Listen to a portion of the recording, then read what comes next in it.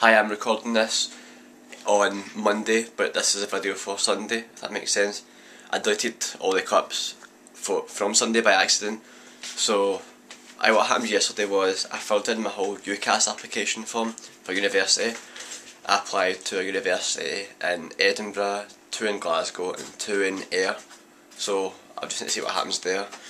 Um, we watched Derren Brown Enigma show, I think it was on Channel 4, and I'm going to try and get tickets for him live because he's coming to Glasgow and well, Edinburgh in April, so I'm going to try and get tickets to go and see him live. Um, try and keep going. Ilana's computer broke yesterday, so that's part of the reason I deleted all the, the clips, just so I can upload this quickly and we can keep up keep this going. Um, it's got a virus, but I think it should be fixed. Just made toast coming up.